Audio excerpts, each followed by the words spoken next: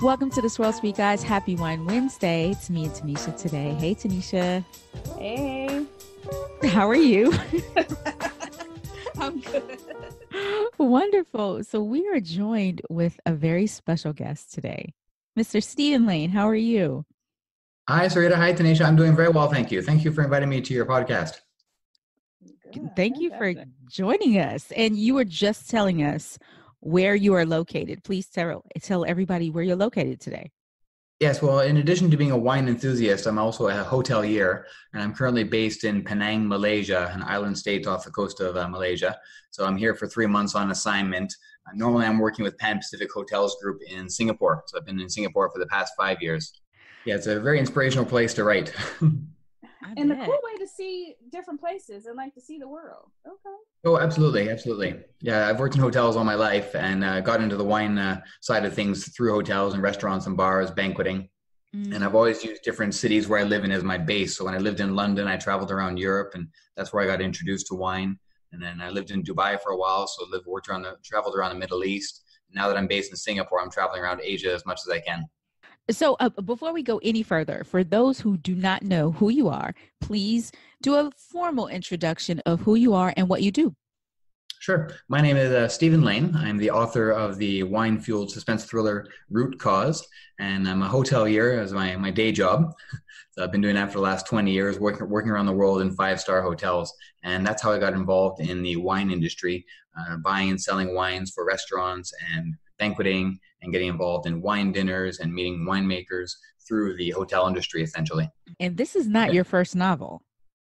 No, this is my third novel. I've written two other ones. One's called Lethal Suggestions. It's a medical thriller based on multiple personality disorder and based in San Francisco. And then I wrote another one called Iconoclast, a Dan Brown type uh, religious conspiracy thriller. Root Cause is the first novel I've had traditionally published, though. So it's not an easy industry to break into. So, but thankfully, I found a great uh, agent and a great editor and a great publisher who took a chance on Root Cause, and it's been doing very, very well since then.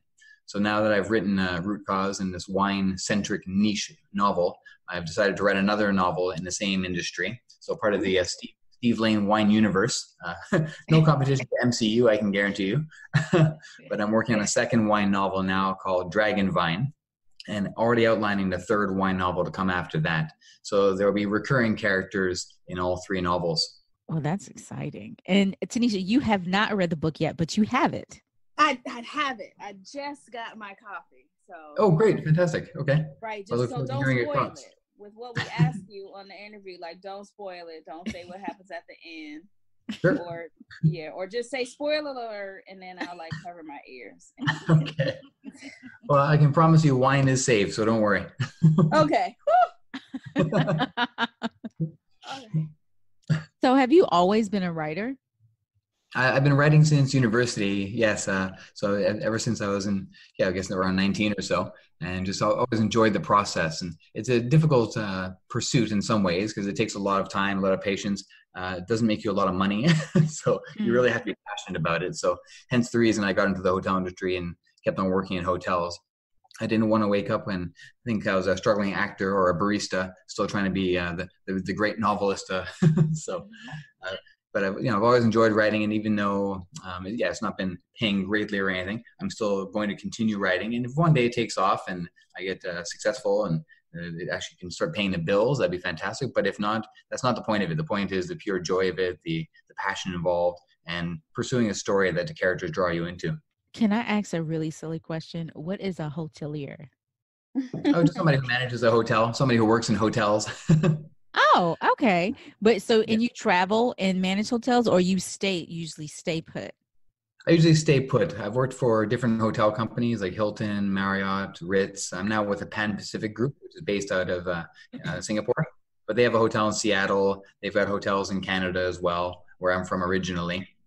And I've worked my way up through the hotel industry. So working in kitchens, working in rooms, working in front desk, and now I'm hotel manager of an 800 bedroom hotel in Singapore, and on assignment here in Penang, helping them manage a hotel here. Got it. So, can you tell us? uh, Can you tell us about your connection to wine and how that started? Sure. Uh, I joined the uh, Grosvenor House Hotel in London in the banqueting department, uh, God, back in 2002. And just by chance, that, that, that role happened to be in charge of the wine list, which I wasn't aware of. So in my second week, they basically said, okay, you need to do the wine list. We sell about $40 million worth of wine every year, American. Uh, so you need to do the wine list and put this together. so I learned quickly. Um, and I met uh, lots of wine suppliers. And through that, I was able to visit Bordeaux, Burgundy, Champagne, uh, get some really great trips to go see the houses and the chateau where they made the wines, which is just incredible. And I was invited to a lot of tastings and dinners.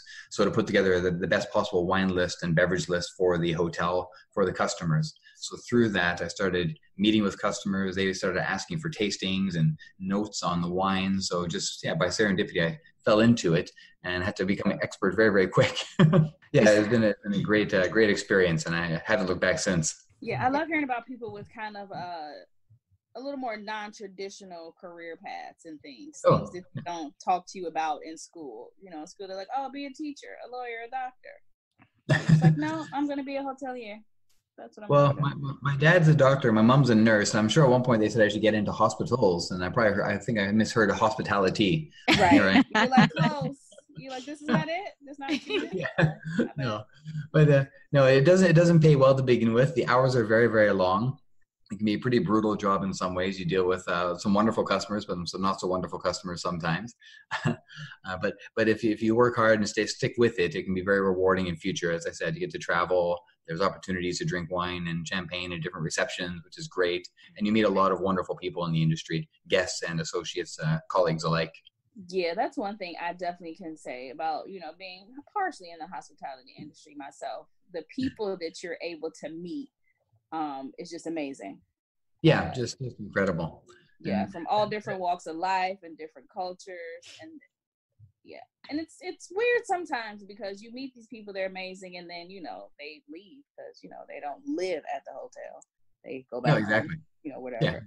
So they come into your life for a week, a few days, and then leave, and you know, just leave an impression on you. Um, and you know, that's just kind of a cool thing. It's yeah.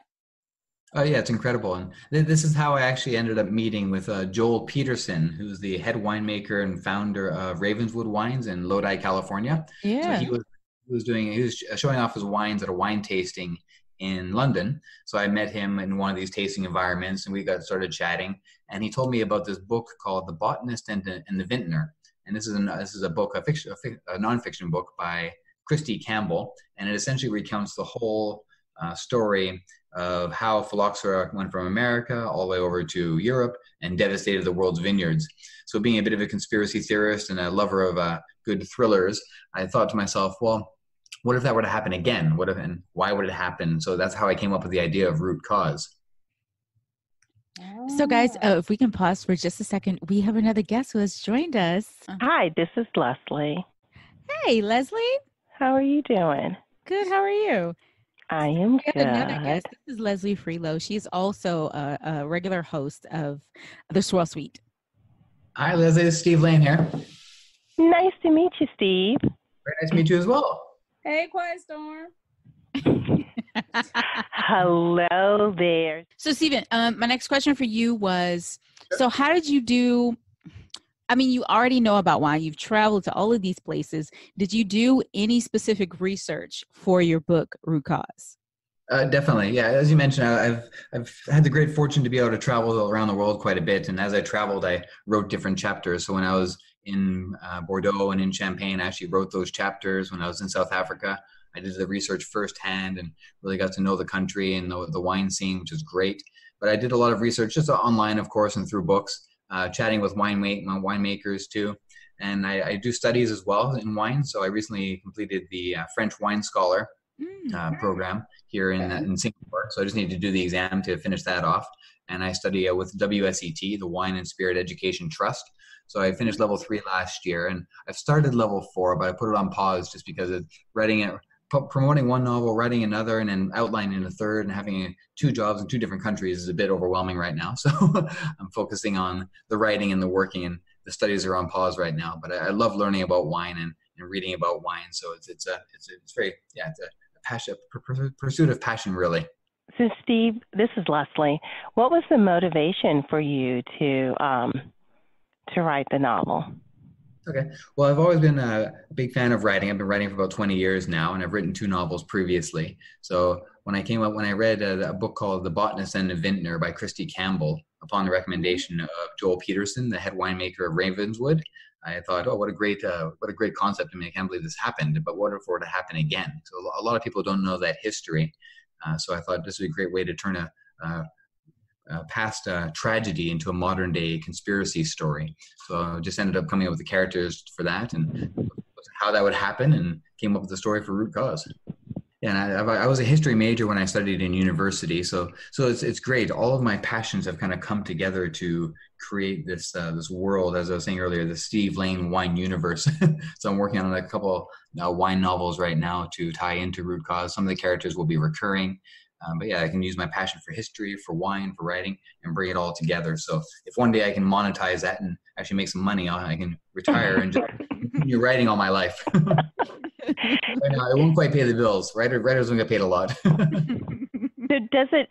Um, I've heard um, other authors like each time when they sit down to write a new book, it kind of the characters stick with them and they kind of write their own story.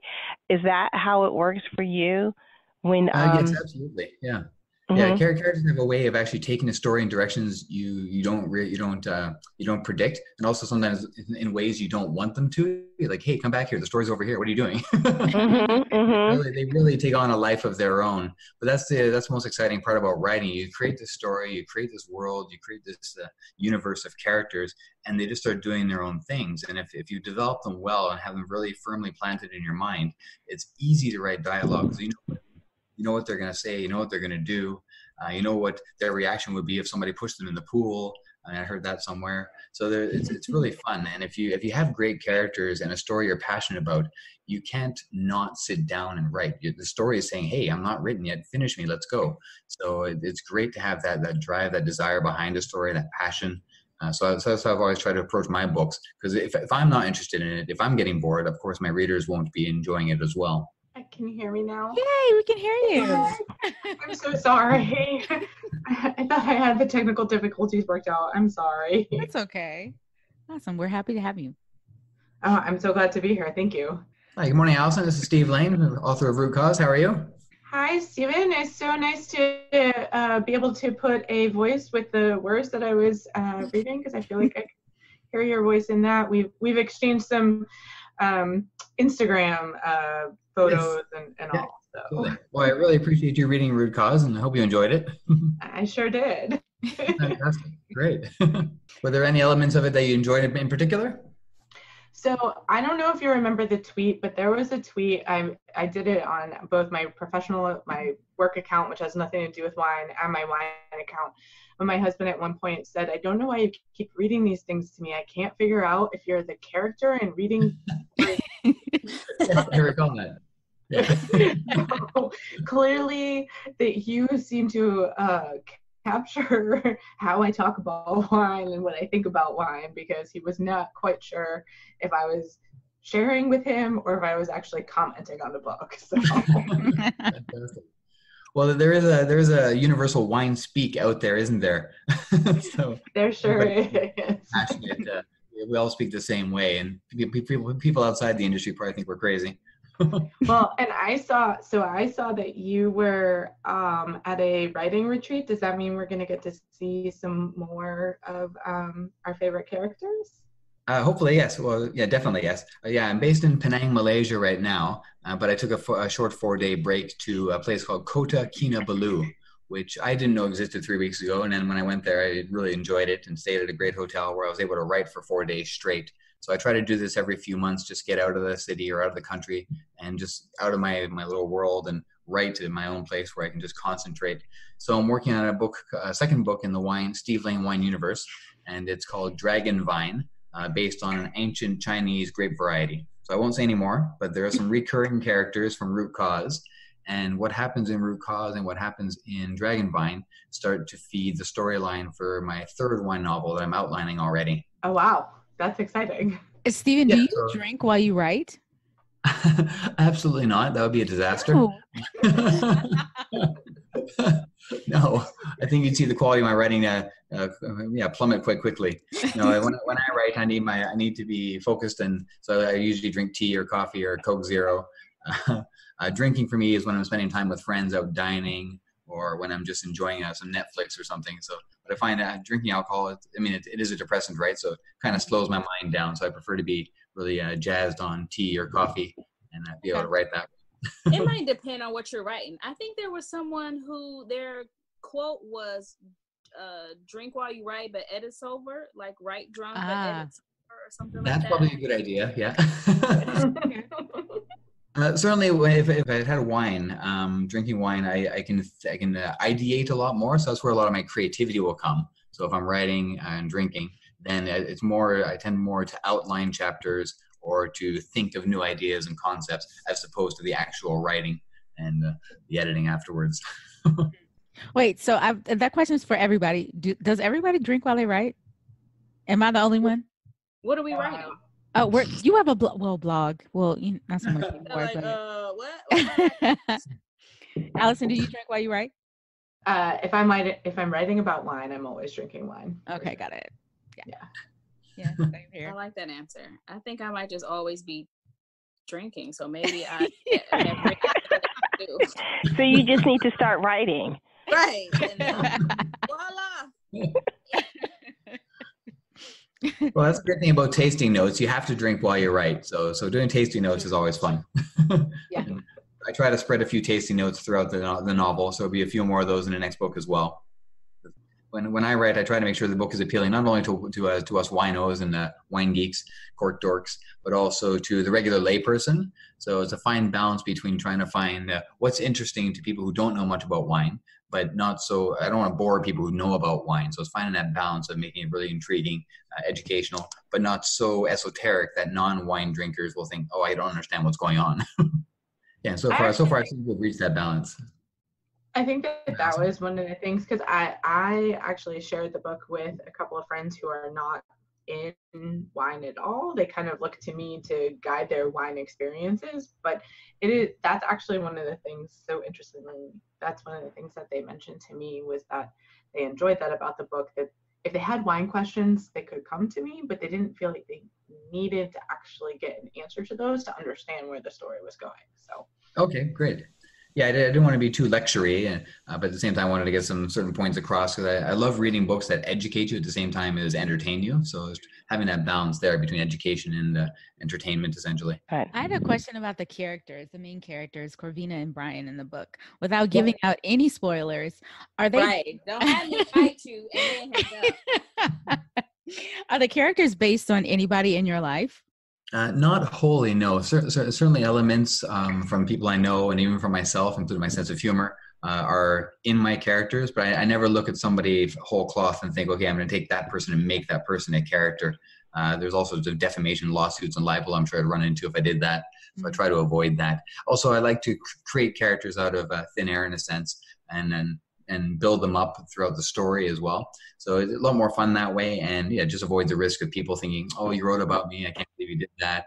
So I'll use last names I know of, maybe people I know, but there's never any real connection between that and the person. So there, there's enough different personalities out there and quirks out there that you don't need to copy and paste uh, somebody's personality in the wine industry. I like the fact that um, you have a wine background. So, you know, sometimes when you are reading a novel or um, people are referencing like a certain era or a, a particular industry, and so it's not always factually accurate, even though the novel is really entertaining. And so the fact that you're able to blend the two um, is great. So, like Allison said that for those people who are not um, wine professionals, they still can enjoy the book without feeling like it was more of um, like a professional manual. Oh, thank you. Yeah, I mean that you're right. That can be so jarring if you're reading a book and you're and you know something about the industry and you see that the author just gets it wrong it just it just stops you and it kind of it destroys their credibility. And I remember reading a book. I used to work at the Ritz Hotel in London, so very fortunately, and I read a book, uh, and one of the chapters was based there, and they were describing the interior, and I thought this person has never been to my hotel, and it just just destroyed the credibility of the story. So it's uh, it's very hard to keep all the details straight and get everything right. There, there's a couple minor minor things in the book that I, I didn't quite nail, which I'll address in my next book and make sure I get right. Um, but yeah, it's certainly reassuring to have people who are in the wine industry read the novel and and say, "Hey, great job! I'm really happy with that." And I was lucky just recently, uh, a master of wine, Greg Sherwood, who's a South African, London-based master of wine. He'd read the novel and he posted a great review on his blog, uh, gregsherwood.com, I think it is. And so I was really, really happy to see that people who are really professionals in this industry are reading it and resonating with the story and its characters and enjoying the, the thrill of the, the read. So I was wondering, do you think that social media has made any of that more difficult? I mean, you've obviously reached out to the social media side of things in terms of here you are, you have a bunch of wine bloggers and um, podcasters and YouTubers who have read your book. Um, you have a great Instagram following, but in terms of trying to keep that reality, um, how, has that influenced um, your writing and whether or not your authentic authenticity and, and all of that. Well, thankfully, the the blogosphere, the Instagram world, uh, everybody's very positive, or certainly in relation to my book, everybody's been very, very positive. So it's just been tremendous to see that. So I haven't really, I haven't had any negative comments on the novel. Uh, people, and if people don't like it, they've kind of kept it to themselves. So the review reviews have been very flatteringly, overwhelmingly positive. So I'm just thrilled about that. Um, and the yeah, the world of social media has been fantastic for the book. I mean, what day and age would you be able to write something and all of a sudden somebody with thirty thousand followers on Twitter or Instagram is posting a picture of it? so it's been tremendous to tap into the the world of Instagram wine lovers. Hashtag Bordeaux, hashtag Champagne, hashtag all these wonderful hashtags that they have out there. Uh, Twitter's been great as well. I've got my own Facebook page and set up a website. Um, you know, it's just fantastic because you get to meet so many different people from around the world, and it's it's gotten a, a global following. Uh, so it's been yeah, just wonderful to tap into all of that. And certainly, I try to respond to everybody personally and share, reshare, repost everything that people put on there as well, just to yeah help spread the word and share the the positivity of the, the story. Steven, where can everybody find Root Cause? Okay, well, it's available in select bookstores and online everywhere. So Amazon.com, Barnes and Noble, uh, QBD in Australia, Kinokuniya in Asia, uh, Waterstones in the UK. So all good bookstores uh, should have it. And if they don't, you can always order it, of course. But online, you can get it too, and it's available in electronic format, uh, Kindle, and uh, any other format you want to download, essentially. Is there anything? I just have a quick question. When you sure. were writing this, or even now since it's been released, Steven, is there anything that like you really wanted people to take away from this, or something that you're like, I want people to really know this about wine, or know this about my writing? That you want them to get from um, Root Cause? Wine is important. so, yes. Uh, the, the, the sheer love of wine. Uh, I want to be able to share my passion for wine. I mean, I haven't put in a story yet, but I'd love to put in a story a character talking about wine, where where he or she says something like, "Wine, it's culture, it's history, it's geography, it's geology, it's biology, it's chemistry. What facet out there?" Does, and discipline does wine not touch and how does i mean wine connects us in so many different ways and being a history major uh, so certainly, I see there's so many great wine stories out there from from the Last Supper to uh, the, the, wines of World War II that were stolen by uh, Hitler and his, his uh, armies as they marched across Europe. I mean, there's just so much history that wine interweaves with. So there's so many great ideas potentially for stories there.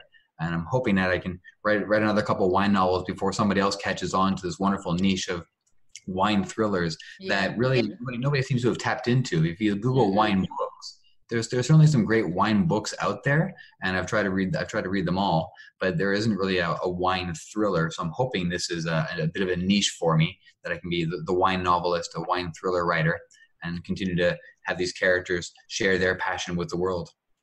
Okay, I'm here for that. And also, if you need a name for that character that's T A N I S H A. Oh and this is this is a great variety, right? All right, you might end up in a story one day. Who knows? Who knows?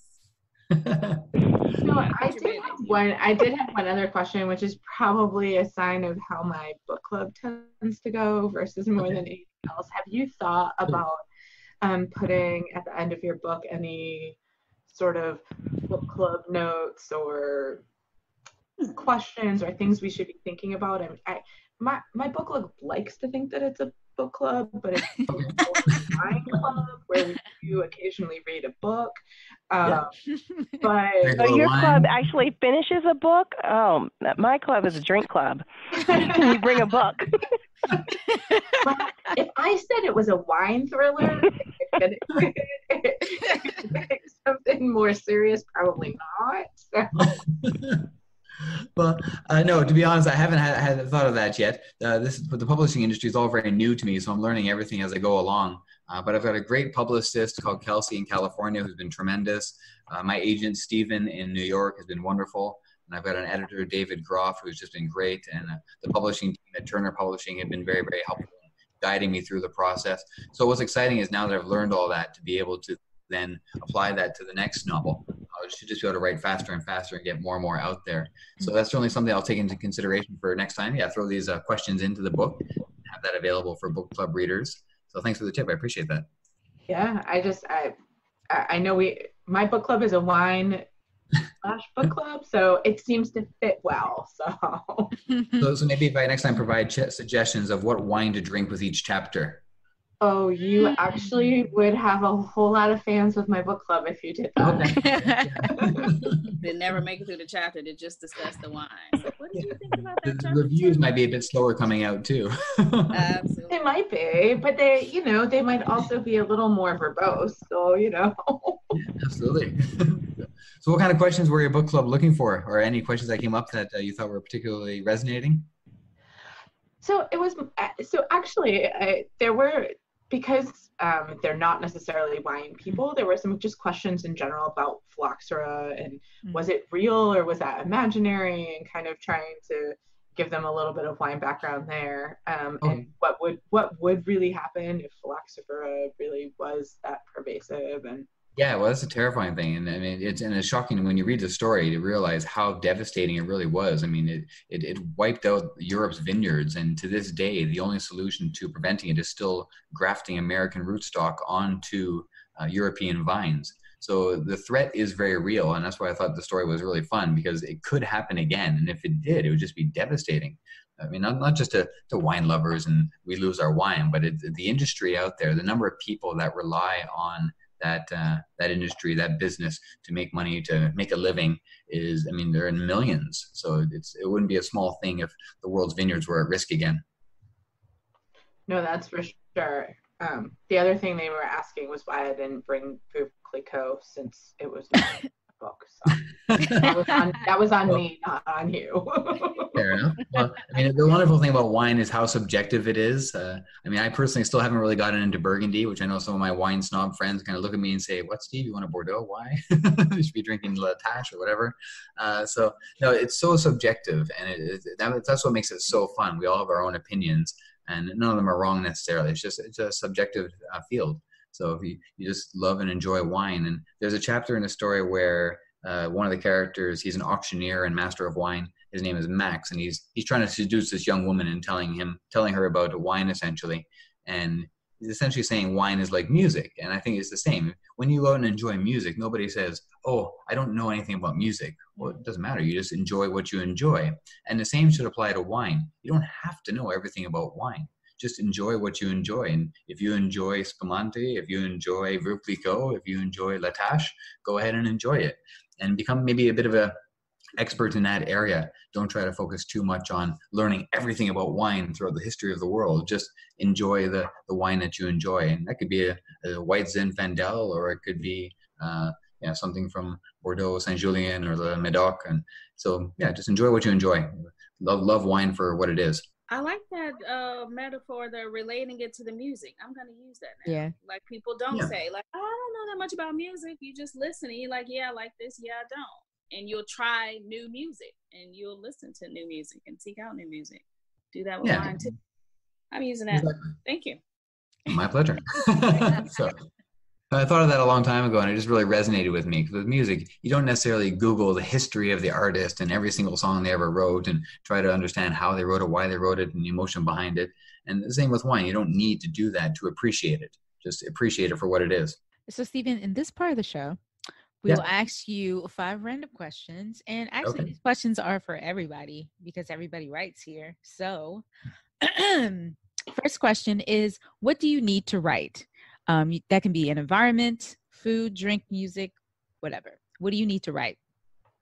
Thankfully, just time. I, I've trained myself to be able to write anywhere and everywhere. So I, I, I make voice notes or little notes on my uh, notes on my, on my, on my iPhone. Uh, I can write in an airport. I just need time and a bit of peace and quiet, really. So uh, ideally, I've got a writing retreat where I can write for four days straight out on the beach somewhere. But uh, otherwise, I, I didn't write anywhere really. So what I try to do at home is go out of go out to uh, whether it's a hotel or a restaurant, find a quiet corner and just write there, so there's no distractions. That's helpful. Um, but yeah, just some some tea and coffee in a quiet place and a laptop or my iPad, and I can write away. And once I get into the story, the world just disappears around me. So people can be a little uh, put off by that, but it's a great way to write. Uh, but you just need time, really. And I, I never get writer's block. I don't really understand what that is or how that is. Because if again, if, as I mentioned earlier, if your story is so compelling to you and your characters are so well developed and they have that passion, that that drive to move forward, that motivation, that mystery to solve, what's stopping you? I mean, it should it should write itself almost, and that's what happens. Allison, what about you? Uh, usually I need the good wine for inspiration since most of my writing is about the wine specifically. Um, and and then actually the time. I usually find that the difficulty is finding the time to sit down and do it. Mm. Yeah, yeah. Tanisha and Leslie, what about you guys? To write. Have we talked about this? I just need wine. So there. That's it. I feel like I'm doing it wrong. Maybe I should get more wine involved. hey, you're the professional here. Right. Well, That's The only published author here. Right. That's what I'm like. You might not be doing it wrong. You actually have doing it the right way. okay, great. Leslie, what about I- you? I um time definitely time, but I I find when I don't focus on it and I just take notes like I'm like I'm thinking about it on the metro or what have you, then when I sit down to write, it's more free flowing. But if Mm. I just sit there in front, like, go, okay, you need to write on this topic or this is the topic, it takes longer for me to do it. Okay. You know, it's for me, I need wine and music. Um, the silence Mm. is great, but um, I do um I find some motivation in certain types of music. It's not quite jazz, it's not quite R&B, it's somewhere in the middle. It's sort of like that zero seven foreign exchange, 4hero, if anybody knows the artists. They're Yeah. very sort of airy, so but has a beat. So music motivates me when I um when I write. All right, next question. Do you have a writing pet peeve? Um, my pet peeve is anything that slows me down. So uh, I was thinking about that, and I, I love writing dialogue. I love writing action. So I like to get the story out first, and when people are char- when characters are talking and there's conflict, the, the, the story just flows. The, the dialogue flows. It's fantastic. I, sometimes I can't type fast enough, and so anything that slows me down from that. And this will sound a bit funny, but sometimes the the additional description in writing can be a, a bit of a pet peeve. When I've got to spend time describing what somebody's wearing, or when I've got to spend time Uh. describing the weather or the background. So occasionally I'll, I'll just write the dialogue straight through without a pause for air or the action. And then I'll go back and look and say, okay, where can I put in these interesting facts and talk about the, the weather, talk about the environment they're in, the color of the barn behind them, or the, the, the fleshiness of the grapes, or whatever it may be. And making sure that all that is in the story within the dialogue and action without slowing down the pace. That can be that can be hard sometimes too, and it's why authors at the very beginning of each chapter quite often describe the weather and then get into the story. So they say, "Here's the scene. Now here's the story." Got it. So anything that slows me down can be a bit of a pet peeve. So it's not that I don't do it; I don't like doing it. I just try to focus on writing the story first and then getting going back and filling in the details. I hate being interrupted. Mm. Like like when I finally had the time, I and then you know something interrupts me, like I got to answer an email or I got to get up and go to an appointment. I hate that because I'm already I'm in the groove, and so Yeah. then finding that again is a bothersome. Anybody else have a writing pet peeve? So maybe it's more of a reading pet peeve. Oh, sure. um, I it, I really don't like when there isn't an Oxford comma. but I find that I sit there and I'm like, wait, what is the author trying to say to me? Are they trying? Like, and I sit there and I actually think about it. Like, it literally triggers this weird thought process in my head every time, even when it's obvious. I'm like, wait, am I reading it correctly? And so, yeah. For the, for the I'm a big fan. For the record, I'm a big I'm a big fan of the Oxford comma. Uh, I follow the Chicago style uh, manual of uh, writing, which I believe does still allow for the Oxford comma. So I hope I wasn't a source of your pet peeves. yeah, I actually really appreciated that they were in there because yeah. I really find it very distracting. And I know that I know that it's much more free flowing to not have it, but it just I find it distracting when it's not there. Um, no, it has to be there. I agree. okay, well, that's one of my writing pet peeves: not having the Oxford comma. See, now now I knew I liked you, Steven. oh, great. Well, I appreciate it, Allison. Thank you. what about yours, Sarita? I don't really have a pet peeve. Um, well, so this is bad, but sometimes me and Tanisha, we will share screenshots of like horrible sentence structures and tweets and, and tweets and Instagram posts. I'm sorry for putting us out there. oh. No, you know grammar's my because I, I, teach English, so like I can't. Mm-mm. You, you, you. Mm-mm. I can't. I don't even have words. so, um, oh, so um, I'm sorry, Tanisha. Um, so you know the um, president of the United States, like he oh, tweets often. Um, but it came out maybe six months ago that his he does have staff who tweet for them. Mm-hmm. Yes, and they purposely like will make spelling mistakes or grammatical mistakes to tweet in his voice. This is so sad. This is the saddest thing I've ever heard. Are you kidding me? No, I'm serious. It was like it, it, was an article in the Washington Post or something like that. Like it, it was finally the White House admitted that um, he doesn't write all his tweets, but they the the writing staff was purposely, you know, they studied his Drinking style. writing. right? they were drinking, yes. Maybe they should be. Um, but they studied his style, and so they purposely will tweet in his style. Mm. Well, I guess uh, the thing to say about that is that if you ever wondered whether or not you could have voice in a tweet, there is definitely he he a voice. We we yeah. can, we can we can picture what that voice sounds like, for better or worse. Unfortunately. Yeah, absolutely. Uh, funnily, funnily enough, uh, I, I, have read, I've, I've, written a couple of chapters, uh, not a couple of chapters, a couple of paragraphs in his voice, uh, just playing with a story idea that I haven't uh, finalized yet. But yeah, I mean, his voice, his character style is so unique that when you read it, you think, oh my God, okay, this is, this is Trump. And the story I was thinking of along with him, and maybe it'll fit into my next story. I mean, we're in a real possible situation that he could bring back prohibition Mm. He doesn't drink. He's a teetotaler. What would stop him from saying, hey, let's go back to prohibition. Let's ban alcohol and the sale of alcohol and consumption of alcohol and go back to a world where wine and alcohol doesn't exist. So that could be the next thriller out there. Who knows?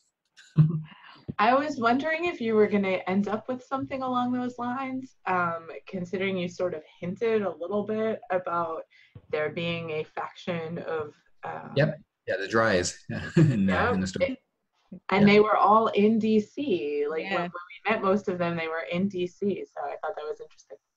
Yeah, there are groups out there who still want to bring back prohibition and have dry counties, and there are plenty of dry counties out there still. Uh, what I found what I find fascinating, if you go to uh, where they produce uh, Jack Daniels, um, Lincoln County, it's still a dry county. So where you it can is, yeah, visit, mm-hmm. where you can visit Jack Daniels, you cannot drink. wow. So prohibition, yeah, still a threat, and with with Trump in office, it, it could happen again. Who knows? Don't give me. So that is definitely a thriller and a horror story. Oh, right. Yes. man. I don't Mhm. even want to think about that. Oh, well, I mean, You well, might have lots of company. we Uh, would just fly to Paris and drink with you, Tanisha. Right. I- you have to, because I would never come back. That's what Americans did in Prohibition anyway. And we can avoid the tariffs that way too. They bought their wine from Europe. Yeah, they flew here in London. And, Yeah. you know that's how they got cocktail culture over there. Yeah. Who liked it from Canada, where I'm from originally? Oh yeah, they Yeah. Ah, yes. yes, Yes. yes. drove it across the lake to get it over to places, um, like in, in New York and stuff. Mhm. Is- So my next question is, what is your favorite book turned movie slash show? Um, I'm a big fan of Chuck Palahniuk, so the author of Fight Club, and I love David Fincher, Brad Pitt. Uh, uh, so, so I thought they did a great job with that movie. It was a bit underrated at the theaters. Um, so yeah, I love that. Uh, but with a, a novel or a book uh, turned movie soon, and not yet released, I'm really excited about is The Billionaire's Vinegar, and this is going to star uh, Matthew McConaughey, and it's a story of uh, Hardy Rodenstock, the the wine fraud fraudster who sold Oh, fake wine, and it's to do with a couple of bottles of uh, supposedly fake uh, Thomas Jefferson Chateau Lafite, if I'm not mistaken, from 1787. So there's a lot of uh, historical provenance issues there, and a very famous auction house in London had auctioned it off, and they got into a lot of trouble. So that's supposed to be a movie soon with uh, Matthew McConaughey. They announced uh, a few years ago, so hopefully it's still in production, and we'll see that soon. That's exciting. Yeah. Allison, what about you? I feel like you have an answer. um, so my answer is probably not nearly as exciting as you as you would think. I'm probably pretty um, I'm pretty mundane. I mean, if we're talking about kind of, I guess it probably also um, matters what you consider like books and all. Like I really like what they've done in the Marvel universe and taking the comic books and putting them I- gotcha. like I do. I do think of of all of that as being writing and putting it into uh, um, movies. So it's probably not as um, not as in, inventive as it should be. I will say if you're talking about wine stuff though, taking um, Bottle Shock as a Oh, that was great. putting it into a movie like that was I'm excited about Billionaire's Vinegar. I haven't heard anything about it recently, which makes me worried. But um, yeah, exactly. but uh but if bottle but bottle shock did really really well so there's an audience out there for it so i i, I hope it's still percolating fermenting i hope it's still fermenting I love it. Fermenting, yes. Leslie, what about you? Ooh, okay, come back to me. Okay. Okay. Tanisha, do you have one? I don't. No, I'm Okay. sorry. Um, mine is gonna be Crazy Rich Asians. Oh, I Okay. love that. I watched it Yeah, again the this I- weekend. Mhm. Yeah, the book was great, and it's the movie was so beautiful, and their It was so character developments was great. I feel like they picked the best cast. I thought it was great. Well, you need to come visit me in Singapore, where it was filmed. Oh. I've heard great things about Sing- Singapore.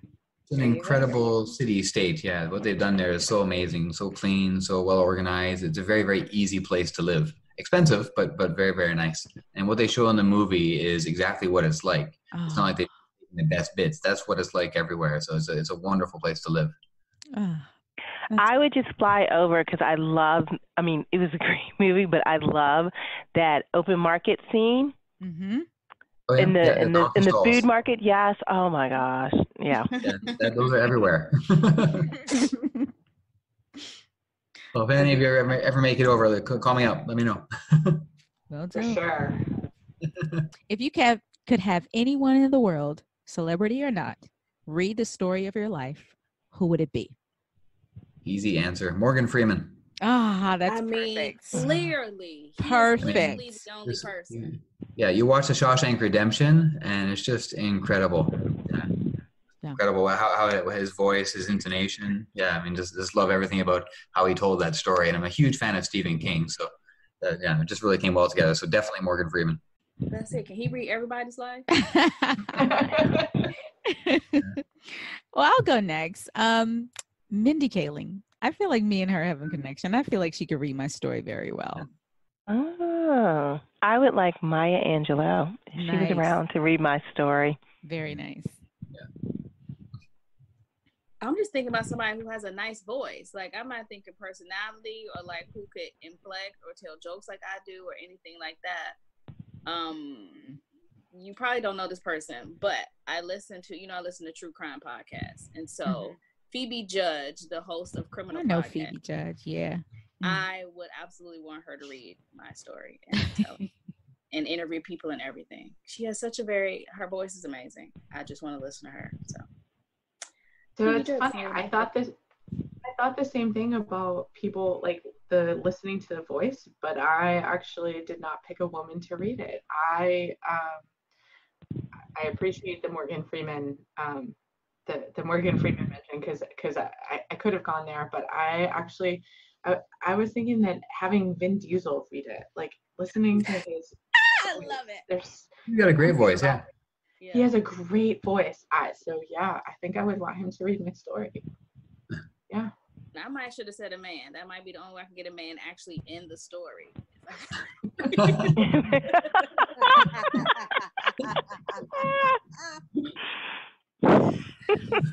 All right.